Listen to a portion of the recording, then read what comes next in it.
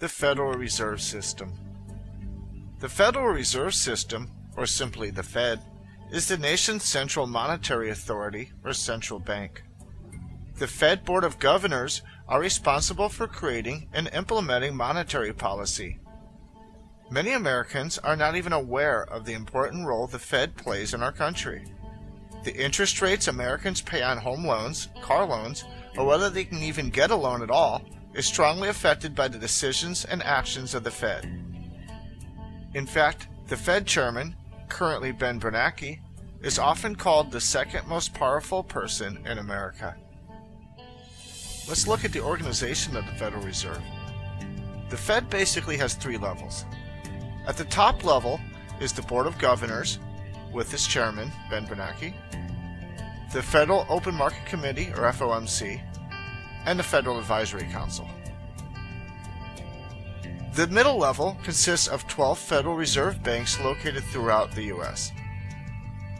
And the bottom or third level consists of thousands of member banks located throughout the U.S. and the non bank public, you, me, everybody else. The Board of Governors consists of seven members who are appointed by the President for 14 year terms. They are not eligible for reappointment. The President also appoints one of the seven members as the Chairman of the Board for a term of four years.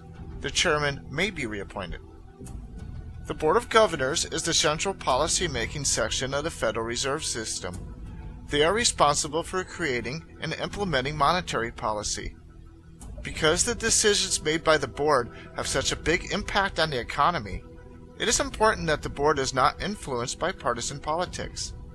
Because of this, the decisions made by the board do not have to be approved by Congress or by the President. The Federal Open Market Committee, or FOMC, is responsible for the buying and selling of government securities, bills, bonds, notes, in the open market to change interest rates and effective availability of credit. The 12 member committee consists of the seven Board of Governors plus five presidents of the Federal Reserve Banks.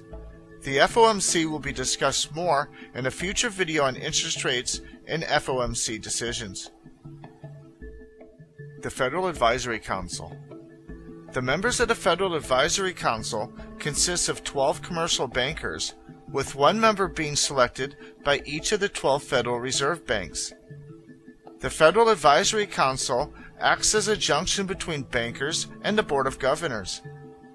It meets with the Board of Governors to report on general business conditions throughout the nation and to give advice about future banking policies. Federal Reserve Banks.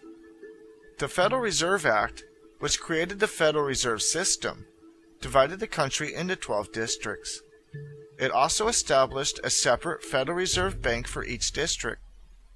This is much different than most countries. Most countries only have a single central bank. The Federal Reserve banks could be called bankers' banks in that they deal only with other banks and other financial institutions. They do not deal with the public. Each Federal Reserve Bank is owned by the commercial banks in its district who are members of the Fed. They are required to buy stock in the Federal Reserve Bank when they become members of the Fed. Although the Federal Reserve banks are privately owned, their main goal is to carry out monetary policy as dictated by the Board of Governors. Commercial banks fall into two categories national banks and state banks. National banks are chartered by the federal government and are required to become members of the Fed. State banks are chartered by individual states and have the choice as to whether they join the Fed or not join the Fed. However, even if they do not join, state banks must still abide by the rules of the Fed. Let's look at some of the functions the Fed performs. One function the Fed performs is making sure that the member banks comply and conform to the banking laws and regulations. The Fed provides paper currency or money. The Fed is responsible for check clearing. Another function it performs is serving as fiscal agent for the federal government, including holding tax money. The Fed also holds the required reserves that banks and other financial institutions are required to keep, and it sets the reserve limit requirements. However, The most important function of the Fed is controlling the amount of money in circulation, which is part of monetary policy. More on banking and monetary policy in the next video. So that ends our discussion on the Federal Reserve System. In the next video, we'll discuss how banks create money. And in the following video after that, we will discuss monetary policy in detail. See you then.